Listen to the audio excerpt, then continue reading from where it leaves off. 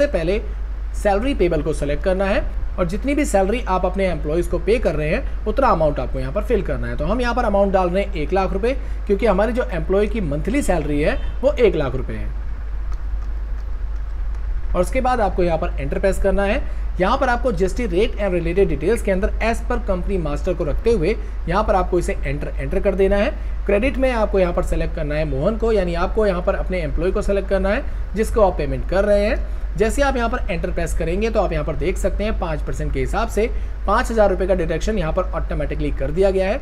इसके बाद दोस्तों आज की इस वीडियो में हम जानेंगे कि आप किस तरीके से टेली प्राइम के 4.1 वर्जन के अंदर टीडीएस का डिडक्शन कर सकते हैं किस तरीके से आप टीडीएस की पेमेंट कर सकते हैं और इसके अलावा किस तरीके से चलान को जनरेट कर सकते हैं। सबसे पहले हम बात करते हैं इसके फुल फॉर्म की। दोस्तों टीडीएस की फुल फॉर्म होती है टैक्स डिडक्टेड एट सोर्स इसका मतलब ये होता है कि जहाँ से आपकी रेवेन्यू जनरेट हो रही है, यानी जहाँ से आपकी इनकम आ रही है, वहीं पर टैक्स को काट लिया जाता है। और बचा हुआ अमाउंट आपको दिया जाता है। जैसे मान लीजिए, आप किसी कंपनी में जॉब करते हैं और वहाँ पर आपको सैलरी मिलती है और सैलरी के दौरान आपका टीडीएस काट लिया जाता है और फिर टीडीएस काटने के बाद आपकी जो सैलरी है, वो आपको दी जाती है। अब यहाँ पर कंपनी आपका टीडीएस काट करके वो पैसा सरकार को पे कर देती है। अब ऐसा क्यों होता है? आइए जानते हैं। दोस्तों, जब भी कोई कंपनी सात लाख से ऊपर का अमाउंट पे करती है अपने एम्प्लॉयज़ को एनुअली तो यहाँ पर कंपनी की ज़िम्मेदारी बन जाती है टीडीएस को डिटेक्ट करना यानी वो उस सैलरी में से टीडीएस को डिटेक्ट करके टीडीएस का जो पैसा है, वो गवर्नमेंट को पहुंचाती है। अब ये करना कंपनी की लाइबिलिटी बन जाती है। ऐसा क्यों होता है? इसके बारे में भी जान लेते हैं। दोस्तों, जब भी कोई कंपनी अपने इनकम टैक्स रिटर्न को फ़ाइल करती है तो वहाँ पर अपने बैलेंस शीट के अंदर अपने सैलरी एक्सपेंसेस को शो कराएगी। और यहाँ पर अगर उस कंपनी ने टीडीएस को डिटेक्ट नहीं किया होता है तो यहाँ पर सरकार उसे उसकी इनकम मान लेती है। और यहाँ पर उसको उसका टैक्स देना पड़ता है। इस टैक्स से बचने के लिए कंपनी यहाँ पर अपने सभी एम्प्लॉयज़ का यहाँ पर टीडीएस डिटेक्ट करती है। दोस्तों, यहाँ पर मैं आपको एक बात और बता देना चाहूँगा कि ऐसा ज़रूरी नहीं है कि जो आपने टीडीएस का पैसा अपनी सैलरी में से डिटेक्ट करवाया है, वो आपका वेस्ट हो जाएगा, यानी वो आपको रिटर्न नहीं मिलेगा। दोस्तों, जब भी आप अपनी इनकम टैक्स रिटर्न को फ़ाइल करेंगे, वहाँ पर आप अपने एक्सपेंसेस को शो करा करके आईटीआर क्लेम कर सकते हैं, जिससे आपका कटा हुआ टीडीएस यहाँ पर आपको रिटर्न मिल जाता है। तो दोस्तों, इस तरीके से गवर्नमेंट टीडीएस को डिटेक्ट करती है। तो चलिए, इसे हम प्रैक्टिकल तरह से समझते हैं कि आप किस तरीके से टेली प्राइम के अंदर इनकम टैक्स को डिटेक्ट कर सकते हैं। तो दोस्तों टीडीएस एंट्री पास करने के लिए सबसे पहले हम यहाँ पर एक नई कंपनी को क्रिएट करने वाले हैं। हम यहाँ पर इसका नाम रख देते हैं T D S on salary इसके बाद आपको यहाँ पर एंटर प्रेस करना है। यहाँ पर आप देख सकते हैं मेलिंग नेम में आपको सेम नेम दिखाई देगा। आपको यही नाम रखते हुए एंटर प्रेस करना है और यहाँ पर आपको अपनी कंपनी का एड्रेस फिल करना है। तो दोस्तों, यहाँ पर हमने अपनी कंपनी का एड्रेस फिल कर लिया है। इसके बाद हम यहाँ पर एंटर प्रेस करते हुए नीचे आएँगे। यहाँ पर आप देख सकते हैं आपको स्टेट दिखाई दे रहा है। तो यहाँ पर हम सबसे पहले स्टेट को सिलेक्ट करेंगे। दिल्ली को सिलेक्ट करते हुए हमने यहाँ पर एंटर प्रेस कर दिया। यहाँ पर आपको अपना पिन कोड डाल देना है। इसके बाद आपको यहाँ पर एंटर प्रेस करना है। टेलीफोन नंबर में आपको यहाँ पर अपना टेलीफोन नंबर टाइप कर देना है। और उसके बाद आपको यहाँ पर एंटर प्रेस करना है। यहाँ पर आपको अपनी कंपनी का मोबाइल नंबर फिल करना है। तो रैंडमली हमने यहाँ पर नंबर्स फिल कर लिए हैं। इसके बाद हम यहाँ पर एंटर प्रेस करते हुए नीचे आएँगे। यहाँ पर आपको अपना कंपनी का फैक्स नंबर टाइप करना है। इसके बाद आपको एंटर प्रेस करना है। यहाँ पर आपको अपनी कंपनी का ईमेल आईडी फिल करना है। तो रैंडमली हमने यहाँ पर एक ईमेल आईडी डाल दी है, इसके बाद हम यहाँ पर एंटर प्रेस करेंगे। वेबसाइट में आपको यहाँ पर अपनी कंपनी की वेबसाइट को फिल करना है और उसके बाद आपको यहाँ पर एंटर प्रेस करना है। एंटर एंटर करके आपको यहाँ पर नीचे आ जाना है और उसके बाद आपको इसे यहाँ से इसे एक्सेप्ट कर लेना है। इतना करने के बाद आप देख सकते हैं आपकी यहाँ पर कंपनी जो है, वो सक्सेसफुली क्रिएट कर दी गई है। अब आपको यहाँ पर सबसे पहले टीडीएस को एक्टिवेट करना है तो आपको यहाँ पर एंटर एंटर करके आ जाना है टैक्सेशन पार्ट के अंदर। यहाँ पर आप देख सकते हैं जीएसटी आपको दिखाई दे रही है। ये ऑलरेडी आपको येस दिखाई दे रहा है। अगर आप इसे नो करना चाहें तो कर सकते हैं। फ़िलहाल हम इसे येस रहने देंगे। और यहाँ पर हम इसे कंट्रोल ए की मदद से इसे एक्सेप्ट कर लेंगे। इसके बाद आप देख सकते हैं यहाँ पर आपको टीडीएस दिखाई दे रहा है। यहाँ पर आपको TDS को येस करना है यानी वाई प्रेस करके आपको यहाँ पर एंटर प्रेस करना है इसके बाद आप यहाँ पर देख सकते हैं आपसे यहाँ पर टेन रजिस्ट्रेशन नंबर आपसे मांगा जा रहा है तो यहाँ पर आपको अपनी कंपनी का टेन रजिस्ट्रेशन नंबर टाइप कर देना है तो रैंडमली हमने यहाँ पर एक नंबर टाइप कर दिया है इसके बाद हम यहाँ पर एंटर प्रेस करेंगे और यहाँ पर भी हम सेम नंबर को डालते हुए एंटर प्रेस करेंगे अब यहाँ पर आपको बताना है कि आप कौन है यानी डिटेक्टर टाइप कौन है आप कोई कंपनी है या फिर इंडिविजुअल एच है तो हम यहाँ पर कंपनी को सेलेक्ट करते हुए एंटर प्रेस करेंगे इसके बाद यहाँ पर आपको डिटेक्टर ब्रांच डिवीज़न डालना है, यानी कौन सी ब्रांच और कौन सी डिवीज़न से आप टीडीएस को डिटेक्ट करेंगे। तो यहाँ पर हम मान लीजिए डाल देते हैं संत नगर और उसके बाद आपको यहाँ पर एंटर प्रेस करना है।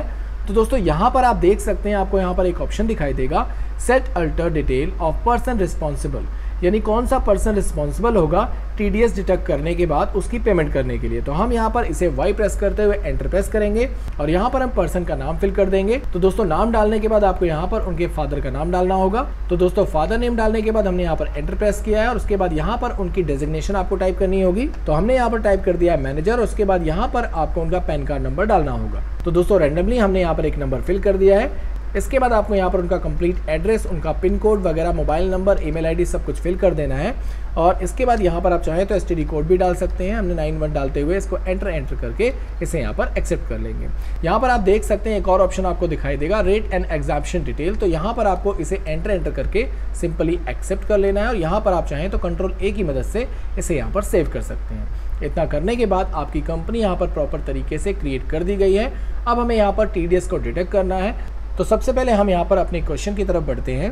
तो दोस्तों, आप यहाँ पर देख सकते हैं एग्ज़ाम्पल के लिए, हमने यहाँ पर एक क्वेश्चन लिया है, जिसमें हम मोहन को सैलरी पे करने वाले हैं, जिसकी एज है फोर्टी ईयर्स और इसके बाद यहाँ पर आप देख सकते हैं वो किस कंपनी में काम करता है। तो हमने यहाँ पर डाल दिया है एक्सेल इन्फोटेक उसकी जो सैलरी है वो फिक्स्ड है, एक लाख रुपए पर मंथ और उसके बाद आप यहाँ पर देख सकते हैं फाइनेंशियल ईयर 2024-25 के अंतर्गत उसने पचास हज़ार रुपये का यहाँ पर इन्वेस्टमेंट किया है, जो कि ई एल एस एस के अंदर उसने फंड इन्वेस्ट किया है। इसके बाद आप यहाँ पर देख सकते हैं, साठ हज़ार रुपये का उसने पी पी एफ़ में इन्वेस्ट किया है। और उसके बाद आप यहाँ पर देख सकते हैं, चालीस हज़ार रुपये का उसने एन एस सी में इन्वेस्ट किया है। तो यहाँ पर क्वेश्चन ये बनता है कि उसका total T D S under section 192 के तहत कितना डिटेक्ट किया जाएगा और कैसे डिटेक्ट किया जाएगा।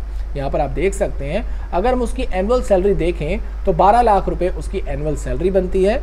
तो दोस्तों, आप यहाँ पर देख सकते हैं, आपको यहाँ पर एक और ऑप्शन दिखाई दे रहा है स्टैंडर्ड डिटेक्शन जिसमें पचास हज़ार रुपये की वैल्यू आपको दिखाई दे रही है, जो कि अलाउ की जाती है सैलरी इनकम के लिए। यानी कि जब भी कोई पर्सन अपनी सैलरी यानी इनकम टैक्स को फ़ाइल करता है तो पचास हज़ार रुपये तक वो स्टैंडर्ड डिटेक्शन ले सकता है। यानी 12 लाख रुपए अगर यहाँ पर इसकी सैलरी है तो यहाँ से वो पचास हज़ार रुपये को माइनस कर सकता है। उसको जो इनकम टैक्स पे करना होगा, वो केवल ग्यारह लाख पचास हज़ार रुपये का ही इनकम टैक्स पे करना होगा।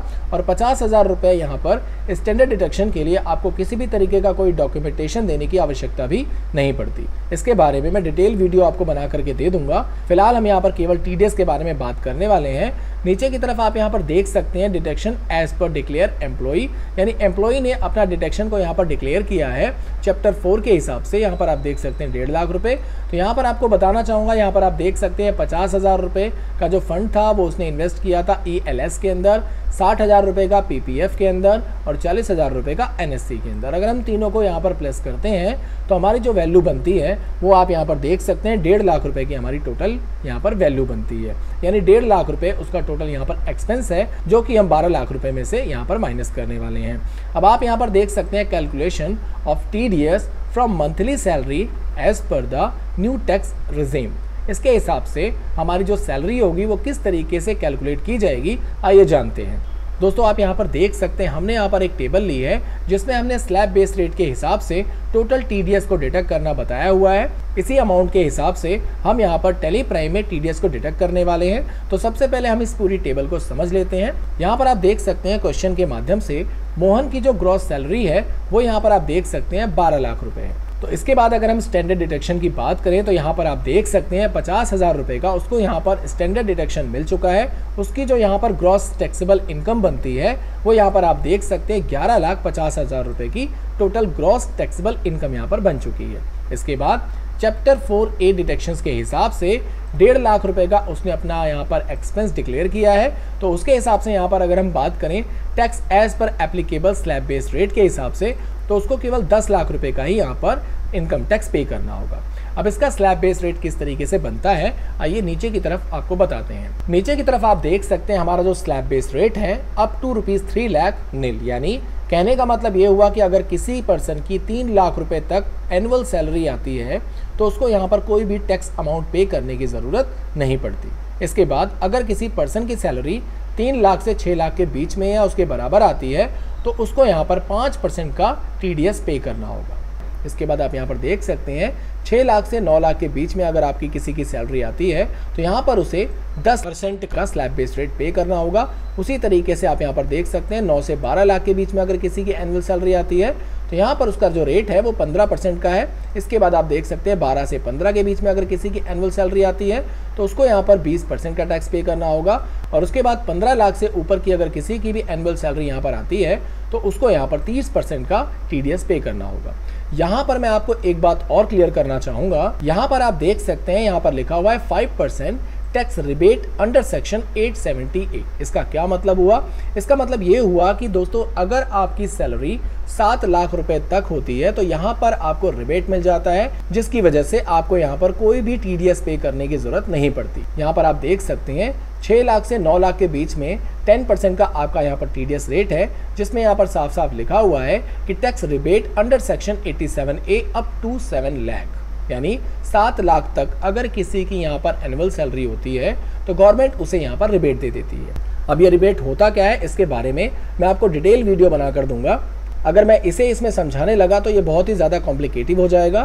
तो फ़िलहाल हम अपने क्वेश्चन की तरफ़ बढ़ते हैं। तो दोस्तों, आप यहाँ पर देख सकते हैं, हमने यहाँ पर इसकी कैलकुलेशन कर ली है। हमारी जो एनुअल सैलरी बनती है, वो यहाँ पर देख सकते हैं, दस लाख रुपये है। जिसमें कि तीन लाख रुपए तक हमें यहाँ पर कोई भी टैक्स अमाउंट पे करने की ज़रूरत नहीं है और तीन लाख से छः लाख के बीच का जो डिफरेंस है वो तीन लाख रुपए है और तीन लाख रुपए का अगर हम यहाँ पर पाँच परसेंट का टीडीएस निकालते हैं तो यहाँ पर आप देख सकते हैं वो पंद्रह हज़ार रुपये बनता है। इसी तरीके से छः लाख से नौ लाख के बीच का जो तीन लाख रुपये का डिफरेंस हम यहाँ पर निकालेंगे, उसका जो टैक्स अमाउंट बनेगा, वो यहाँ पर आप देख सकते हैं तीस हज़ार रुपये का बनेगा। इसके बाद आप यहाँ पर देख सकते हैं जो हमारा स्लैब बेस रेट है, वो नौ लाख से बारह लाख के बीच का है। तो हमारी जो एनुअल सैलरी है, वो यहाँ पर दस लाख रुपए है। तो नौ लाख तक का टीडीएस यहाँ पर आप देख सकते हैं, हमने यहाँ पर ऐड कर लिया है। अब यहाँ से आप डिफरेंस देख सकते हैं, हमारा जो टैक्स अमाउंट की वैल्यू बचती है, वो एक लाख रुपए बचती है और एक लाख रुपए का अगर हम यहाँ पर पंद्रह परसेंट निकालते हैं तो पंद्रह हज़ार रुपये यहाँ पर बनता है। अब इसको मैं आपको एक बार कैलकुलेट करके दिखा देना चाहूँगा। यहाँ पर आप देख सकते हैं एक्सेल में हमने एक शीट बनाई हुई है, जिसमें आप यहाँ पर देख सकते हैं up to three lakh nil rate के हिसाब से हमारी जो इनकम है वो तीन लाख रुपए है जिसपे हमें यहाँ पर कोई भी टैक्स अमाउंट पे करने की ज़रूरत नहीं है। इसके बाद आप यहाँ पर देख सकते हैं तीन लाख से छः लाख का जो हमारा डिफरेंस है, वो तीन लाख रुपए का है। और यहाँ पर आप देख सकते हैं पंद्रह हज़ार रुपये का हमारा यहाँ पर फाइव परसेंट निकला है। ये कैसे निकला है, मैं आपको एक बार कैलकुलेट करके दिखा देना चाहूँगा। यहाँ पर आपको इज़ इक्वल टू का इस्तेमाल करना है। तीन लाख को मल्टीप्लाई कर देना है पाँच परसेंट से। और इसके बाद जैसे आप यहाँ पर एंटरप्रेस करेंगे तो आप यहाँ पर देख सकते हैं पंद्रह हज़ार रुपये का हमारा टैक्स अमाउंट यहाँ पर आ चुका है। इसी तरीके से आप यहाँ पर देख सकते हैं छः लाख से नौ लाख के बीच का जो डिफरेंस है, वो तीन लाख रुपए है। तो तीन लाख रुपए का हमें यहाँ पर दस परसेंट निकालना है। तो हमें यहाँ पर इज़ इक्वल टू का इस्तेमाल करना है, तीन लाख की रेंज लेनी है और इंटू यहाँ पर कर देना है टेन परसेंट। और उसके बाद जैसे हम यहाँ पर एंटरप्रेस करेंगे तो आप यहाँ पर देख सकते हैं, तीस हज़ार रुपये की हमारी यहाँ पर वैल्यू आ चुकी है।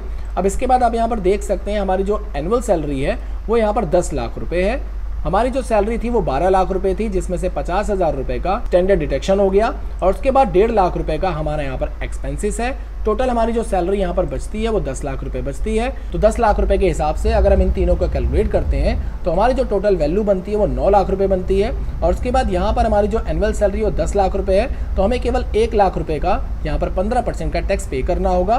तो यहाँ पर एक लाख का हम यहाँ पर पंद्रह परसेंट निकालने वाले हैं तो एक लाख को हम मल्टीप्लाई करेंगे यहाँ पर पंद्रह परसेंट से।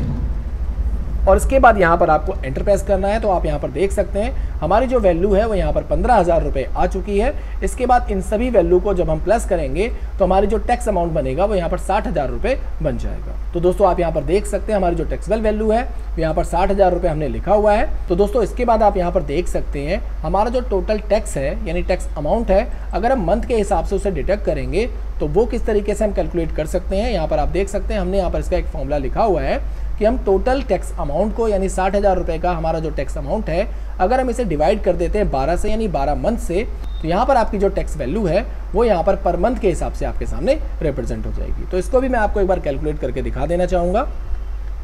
यहाँ पर आपको अपने कीबोर्ड से कंट्रोल के साथ F9 प्रेस करना है, यहाँ पर आपको इक्वल टू यूज़ करना है। यहाँ पर हमारा जो टोटल टैक्स वैल्यू है, उसको यहाँ पर टाइप कर लीजिए।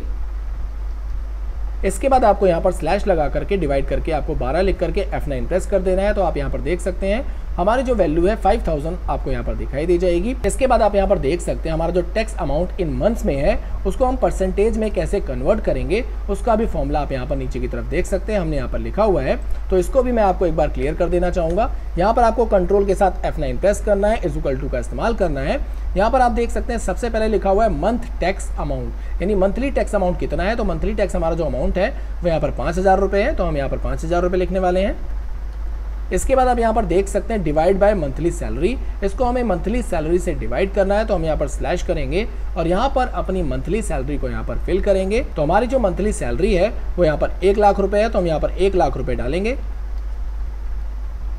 और उसके बाद इसे हम इंटू कर देंगे 100 से। इसके बाद जैसे हम यहाँ पर F9 प्रेस करेंगे तो आप यहाँ पर देख सकते हैं 5 आपको दिखाई दे जाएगा। यानी 5 परसेंट का जो हमारा total tax in percentage value है, वो आपको यहाँ पर दिखाई दे जाएगी। तो दोस्तों, इसे आप किस तरीके से टेली प्राइम के अंदर डिटेक्ट करेंगे, आइए जानते हैं। तो दोस्तों, सबसे पहले हमें यहाँ पर गेटवे ऑफ़ टेली पर आना है और उसके बाद यहाँ पर हमें क्रिएट को सेलेक्ट करते हुए यहाँ नीचे की तरफ़ आपको एक ऑप्शन दिखाई देगा टीडीएस नेचर ऑफ़ पेमेंट इसको सेलेक्ट करना है। यहाँ पर आपको टीडीएस का नेचर क्रिएट करना है। तो जैसे मान लीजिए एग्ज़ाम्पल के लिए हम यहाँ पर लिख देते हैं सैलरी सेक्शन में हम यहाँ पर टाइप कर देते हैं 192 ए और उसके बाद हम यहाँ पर एंटर प्रेस करेंगे। पेमेंट कोड के अंदर हम यहाँ पर टाइप कर देंगे 92 बी और उसके बाद यहाँ पर एंटर प्रेस करेंगे और उसके बाद आपको यहाँ पर एंटर एंटर करके परसेंटेज फिल कर देना है। तो दोस्तों, यहाँ पर आप देख सकते हैं, हमारा जो यहाँ पर मंथली परसेंटेज था, वो फाइव परसेंट का था। तो यहाँ पर हम फाइव डालते हुए एंटर प्रेस करेंगे। इसके बाद यहाँ पर आपको लिमिट में कुछ भी अमाउंट फिल नहीं करना, आपको केवल यहाँ पर एंटर करके इसे एक्सेप्ट कर लेना है। इतना करने के बाद आपको यहाँ से स्कैप करके बाहर आ जाना है और उसके बाद आपको यहाँ से लेजर्स में आना है और यहाँ पर हमें कुछ लेजर्स क्रिएट करने हैं। जैसे जैसा कि आप यहाँ पर देख सकते हैं, सबसे पहला लेजर हमें यहाँ पर दिखाई दे रहा है सैलरी पेबल का। तो हम यहाँ पर सैलरी पेबल के नाम से एक लेजर क्रिएट करने वाले हैं। इसके बाद यहाँ पर आपको एंटर एंटर करके इसे अंडर ऑफ़ डाल देना है इनडायरेक्ट एक्सपेंस इनडायरेक्ट एक्सपेंस रखने के बाद आपको यहाँ पर एंटर एंटर करके नीचे आ जाना है। यहाँ पर आप देख सकते हैं, आपको यहाँ पर एक ऑप्शन दिखाई देगा set alter other statutory detail आपको यहाँ पर इसे यस करना है। यस करने के बाद आप यहाँ पर देख सकते हैं, इस टी एप्लीकेबल का आपको यहाँ पर एक ऑप्शन दिखाई देगा, जिसमें आपको यहाँ पर अनडिफाइंड दिखाई दे रहा है। आपको अपने कीबोर्ड से स्पेस को प्रेस करना है, इसे यहाँ से एप्लीकेबल को सेलेक्ट करते हुए एंटर प्रेस करना है, और यहाँ पर आप देख सकते हैं, जो हमने नेचर ऑफ़ ट्रांजेक्शन बनाया था, यानी सैलरी के नाम से, उसे आपको यहाँ पर सेलेक्ट कर लेना है। इसके बाद आपको यहाँ पर इसे एंटर एंटर करके एक्सेप्ट कर लेना है। तो यहाँ पर हमारा पहला लेजर क्रिएट हो चुका है। इसके बाद आप यहाँ पर देख सकते हैं हमारा जो दूसरा लेजर है, वो यहाँ पर मोहन का है, जिसे अंडर ऑफ़ डालना है हमें सेंड्रिक क्रेडिटर तो यहाँ पर हमने मोहन को अंडर ऑफ़ सेंड्री क्रेडिटर डाल दिया है। इसके बाद आपको यहाँ पर एंटर एंटर करके इस टी डिटेक्टेबल के अंदर आ जाना है। इसे आपको यहाँ पर येस करना है और यहाँ पर आपको अपने हिसाब से जो भी आपका पर्सन जिस कैटेगरी में आता है, आपको वो कैटेगरी सेलेक्ट कर लेनी है। तो यहाँ पर हम इसे इंडिविजुअल रेजिडेंट सेलेक्ट करते हुए एंटर प्रेस कर रहे हैं। यहाँ से आपको फिर से नेचर ऑफ़ पेमेंट दिखाई देगा तो यहाँ से हम वापस से सैलरी को सेलेक्ट करेंगे एंड ऑफ़ लिस्ट करेंगे और एंटर एंटर करके यहाँ नीचे आ जाएँगे। अब यहाँ पर आपको एक बात का ध्यान रखना है कि आप जिस भी एम्प्लॉय को सैलरी पे कर रहे हैं, उसका लेजर बनाते समय उसके पैन कार्ड को आपको यहाँ पर ज़रूर फिल करना है। अगर आप ऐसा नहीं करते हैं तो यहाँ पर टीडीएस का जो रेट होगा, वो 20 परसेंट के हिसाब से डिटेक्ट किया जाएगा। तो यहाँ पर हम पैन कार्ड नंबर फिल कर लेते हैं। तो दोस्तों रैंडमली हमने यहाँ पर एक पैन कार्ड नंबर फिल कर लिया है। इसके बाद हम यहाँ पर एंटर प्रेस करेंगे। प्रोवाइड पैन डिटेल को हम यहाँ पर येस करेंगे। और यहाँ पर आप देख सकते हैं, आपका एम्प्लॉय का नाम आपको यहाँ पर दिखाई देगा। इसे आपको सेलेक्ट करते हुए एंटर प्रेस कर देना है। और यहाँ पर आपको रेगुलर सेलेक्ट करते हुए एंटर एंटर करके इसे यहाँ से एक्सेप्ट कर लेना है। तो दोस्तों, इतना करने के बाद हमें यहाँ पर एक और लेजर क्रिएट करना है। यहाँ पर आप देख सकते हैं हमारा जो तीसरा लेजर है, वो यहाँ पर टी ऑन सैलरी का है और इसे अंडर ऑफ़ डालना है हमें ड्यूटीज़ एंड टैक्सेस के। तो यहाँ पर हमने टी ऑन सैलरी के नाम से एक लेजर क्रिएट कर लिया है और इसे अंडर ऑफ़ डाल दिया है हमने ड्यूटीज़ एंड टैक्सेस यहाँ से आपको टी को सिलेक्ट करना है सैलरी को सेलेक्ट करना है और उसके बाद यहाँ पर इसे एंटर एंटर करके एक्सेप्ट कर लेना है। इसके बाद एक लास्ट लेजर हमारा बचता है। जो कि आप यहाँ पर देख सकते हैं HDFC बैंक के नाम से आपको दिखाई दे रहा है। तो इसे हम एच बैंक का एक लेजर क्रिएट करते हैं, इसे अंडर ऑफ़ डाल देंगे बैंक अकाउंट के, और यहाँ पर हम फटाफट बैंक की सभी डिटेल्स को फिल कर लेते हैं। तो दोस्तों, सभी डिटेल्स को फिल करने के बाद यहाँ पर हम इसे एंटर एंटर करके इसे यहाँ पर एक्सेप्ट कर लेंगे।